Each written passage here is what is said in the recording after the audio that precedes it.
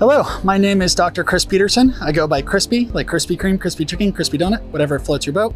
I'm a professor here in the Mechanical and Aerospace Engineering Department, and I want to talk to you a little bit about PhD.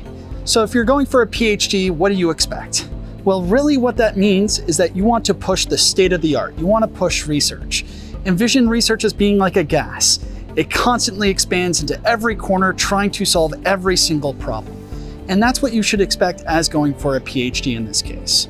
And to start that, you need to look into your application.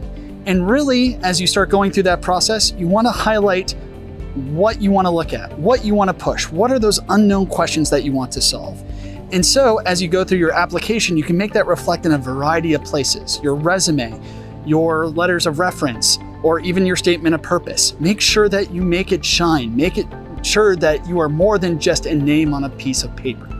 And then finally, when you look at a PhD, you want to find those people that really synergize with you, and not just in terms of what sort of research that goes on here at the University of Florida. Here in the Mechanical and Aerospace Engineering Department, we have a vast variety of professors that look at everything from biology, that look at mechanical structures, and aerospace and sciences. You can find anyone here to work with. And so you can look at things on the website to those references, including the research faculty matrix. But the most important thing is find a professor who you resonate with, who you can get along with, who can figure out who can push you in tandem to solve those state of the art questions.